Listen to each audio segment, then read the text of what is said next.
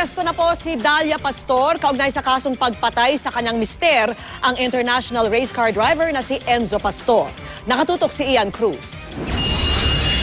Emosyonal ang nanay ng pinaslang na si Enzo Pastor nang mahawakan ng kopya ng warrant of arrest laban sa manugang na si Dalia Guerrero Pastor.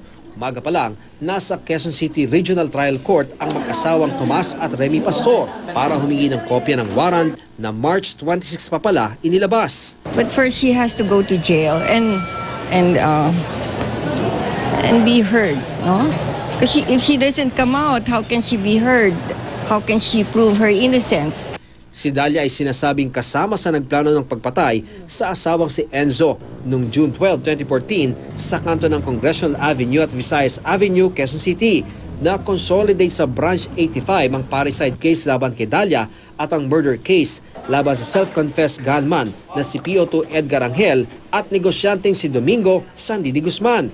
Pero wala pang arrest warrant kay Di Guzman ang kasama raw ni Dalia na nagplano ng krimen.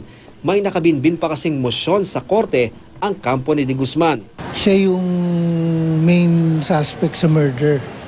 So, nagkontra. yeah, siya yung nagkontrata doon sa gunman. Pero we're hoping that judge will bring out, Judge Cortez, Branch 85 will bring out the warrant for Sandy.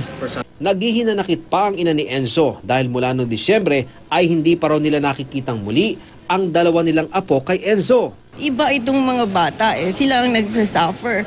And we are here for the best interest. Bigyan nila ng pagkakatong ibigay namin ng pagmamahal namin. Ipakita maski na once a week. Matagal nang hindi sumisipot sa mga pagdinig at di rin nagpapakita sa publiko si Dalia. Sinikap ng GMA News na kunin ang panig ng kampo ng mga girero. Nagpadala kami ng mensahe sa kanila pero walang naging tugon. Tumanggi ring magpa-interview ang ama ni Dalia na si Wahoo. Wala naman sa kanyang opisina ang abogado ng mga girero na si Attorney Redembero Villanueva. Ian Cruz, Nakatutok, 24 Oras.